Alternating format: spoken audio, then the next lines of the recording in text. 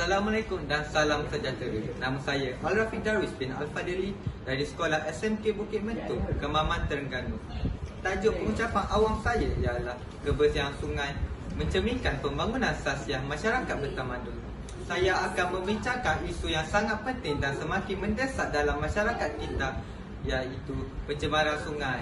Pencemaran sungai merupakan salah satu cabaran alam sekitar yang semakin meruncing di seluruh dunia dan kita perlu memahami kesan negatifnya terhadap persekitaran masyarakat dan ekonomi negara kita.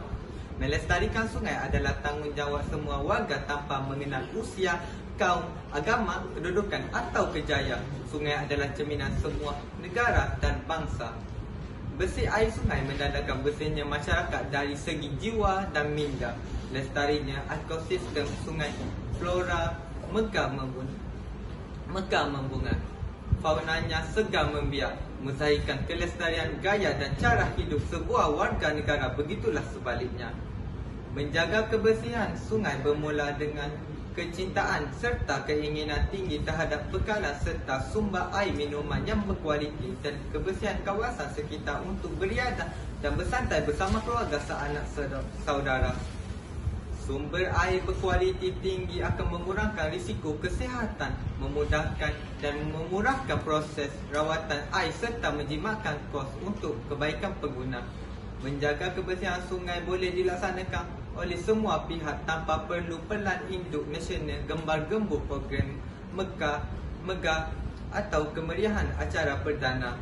Oleh itu, masyarakat hendaklah memastikan anak sungai dan longkang yang berdekatan kawasan perumahan dan tempat kerja tidak dilimpahi sampah sarat atau aliran pembahan tidak terawat atau buangan apa saja bentuk sisa.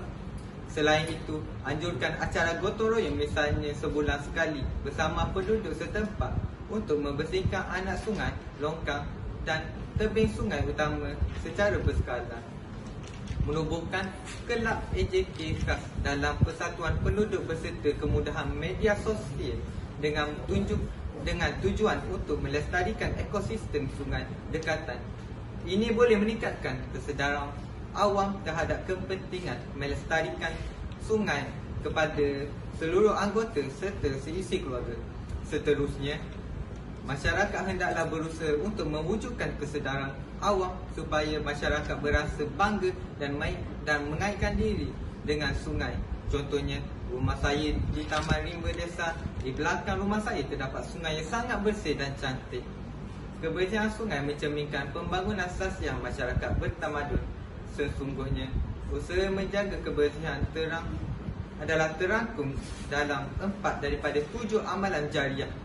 Sebagaimana maksud hadis tujuh perkara yang seorang itu masih berterusan mendapat pahala walaupun sudah meninggal dunia.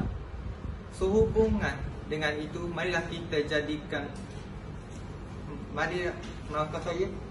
Sehubungan dengan itu, marilah kita jadikan pelestarian ekosistem sungai sebagai wadah menyatakan penduduk setempat tanpa mengenal pangkat, kedudukan kaum dan agama, fahaman politik atau usia.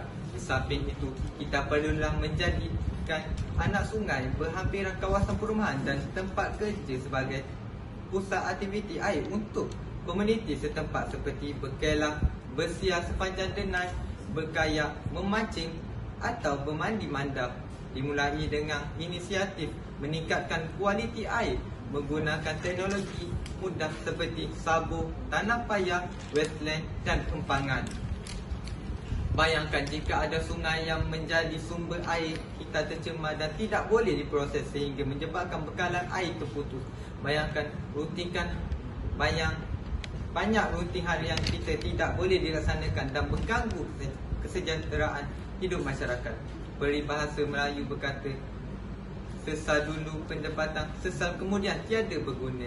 Sebagai manusia yang dikurniakan akal, kita wajib menjadi Maka saya sebagai manusia yang dikurniakan akal Kita wajib menjaga sungai demi kemaslahatan masyarakat dan generasi akan datang. Jelaslah bahawa menjaga kebersihan sungai bersama tanggungjawab kita. Itu saja daripada saya. Sekian terima kasih